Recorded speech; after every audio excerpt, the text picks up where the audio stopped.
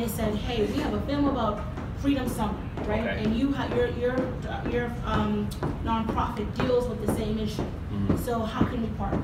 So doing the marketing for that client, I ended up partnering with this organization that had this film. Right. So a year later, after that, when they said, "Oh, we're releasing a new film," what about that girl that did, you know, marketing with us last year? Right. You know, um, she worked with the Andrew Goodman Foundation. That foundation is amazing. They, she did a good job with that partnership. Let's talk. You know, and so that's what happened.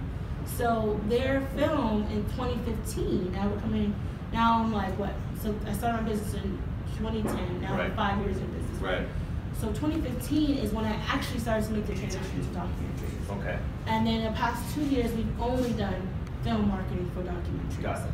But the reason why that's so funny is because, again, I came to New York wa- wanting to work in film as a filmmaker, right?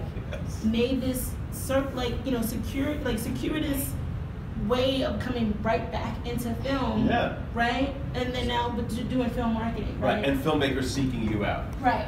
So that's literally the only doing in Color Night Show. We, you know, we had three amazing films at um, Sundance. I'm gonna say that again.